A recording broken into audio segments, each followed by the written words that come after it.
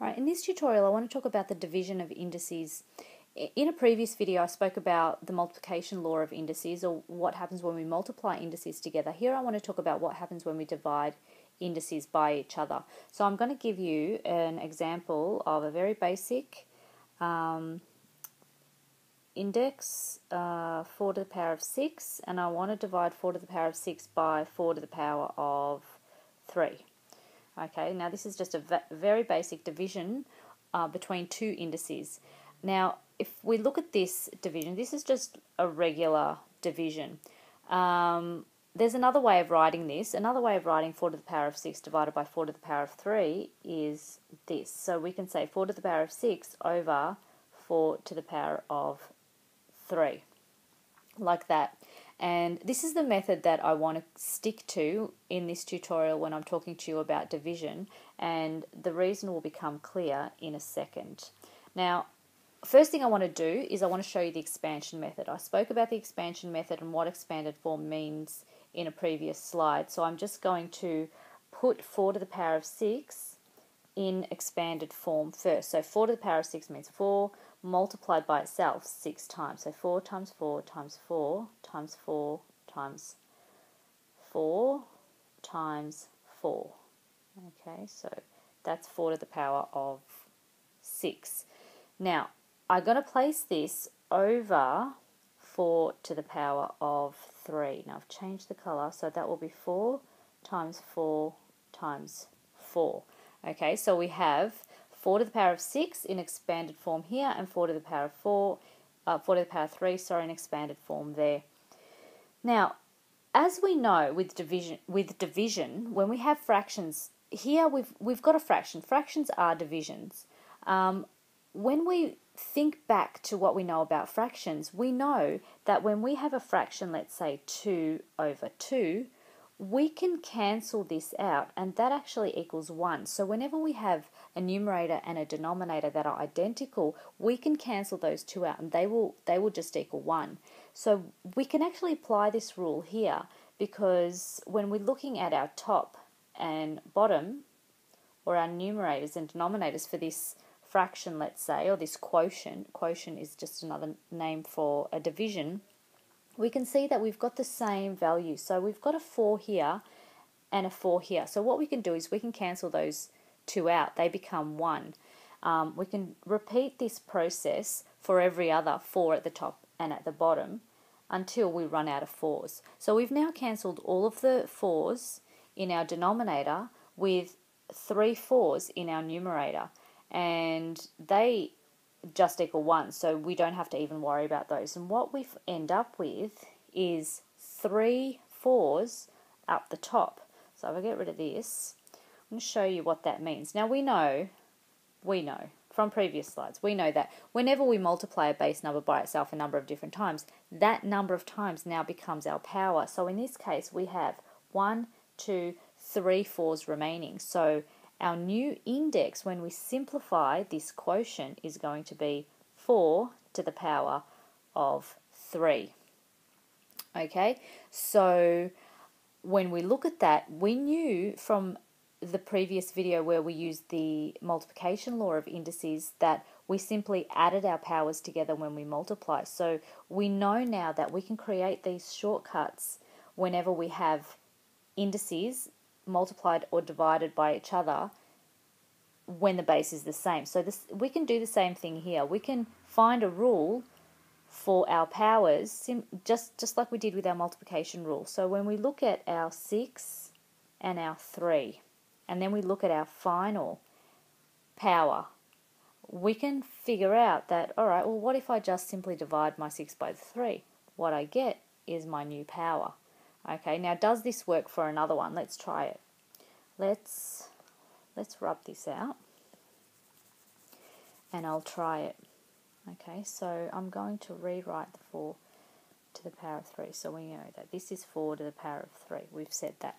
Alright, let's start with another new quotient. And that's going to be, let's say, 5 to the power of 8.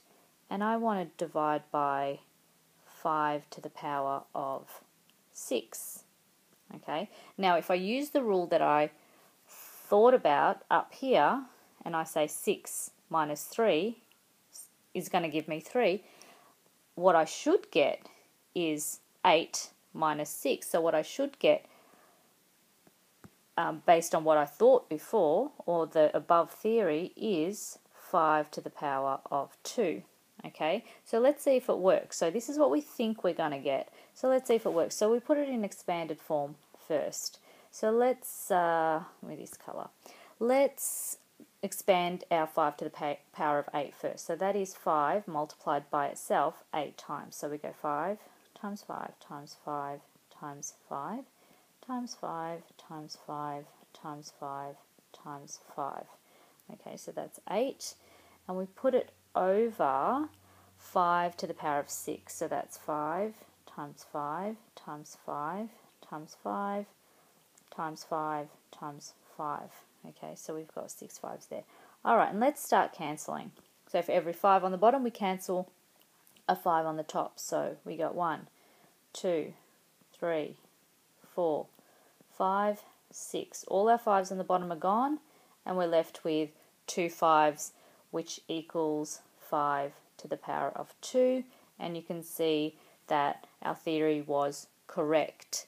So we can come up with a new law here that represents quotients or divisions of indices. And if I go to the next slide, I'll write that down for you. So we, we use generally, just like I did with the multiplication law, we use A's and M's and N's. So I'm going to stick to those um, three different variables and I'm going to say the new law is a to the power of m divided by a to the power of n is a to the power of m minus n in this case. Okay, so now this is our law for the division of indices. So this can be said as the division law for indices. Okay, and uh, we can apply this law for any variables or any values for each of these variables. So let's look at, if I, last time I, I assigned a value for each of my A, M, and N. So I'll do the same thing here. I'll say A equals 2, M equals 3, and N equals, let's say, 2. Okay? Now, if I substitute the values of A, M, and N into that formula, I should get something that looks like 2, which is my value for a, to the power of 3, which is my m, divided by 2 to the power of 2, which is my value for n, and I get now a, oh sorry, not a, start again, I get 2 to the power of 3 minus 2, which is going to give me 2 to the power of 1. Now, 2 to the power of 1, you need to remember, is simply 2. So whenever we have a value that doesn't seem to have a power above it, we always know that that power is going to be a power of 1. And this is really important, particularly when you're adding and subtracting those indices, when you're using your addition, uh, your multiplication law and your division law for indices, where you've got variables and I'm going to give you an example of a, a, a division that's got variables in it in a second.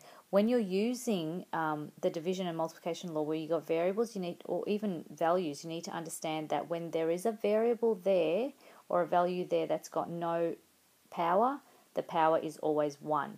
So I'll give you an example of, let's just make room here, of a division with a variable. So let's start with x to the power of 7 and I want to divide x to the power of 3. So I'm not going to use the expansion method here, I simply use my rule and I know that base and I subtract my powers. So I'm going to get x to the power of 4 and it really is as simple as that. very, very straightforward. And the same thing will happen when you've got a, um, a quotient where you've got more than one variable. For example, if I have a to the power of 7, b to the power of 6, divided by a, b, 5. Okay, so we've got something that looks like that.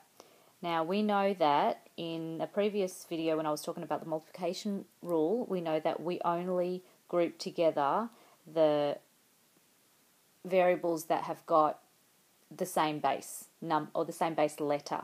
Okay, so I'm looking at my A's and I'm looking at their powers and I'm looking at B's and their powers. So they're the B's and these are the A's. Now remember I said when there's no power above the letter, the letter's always the power's always 1.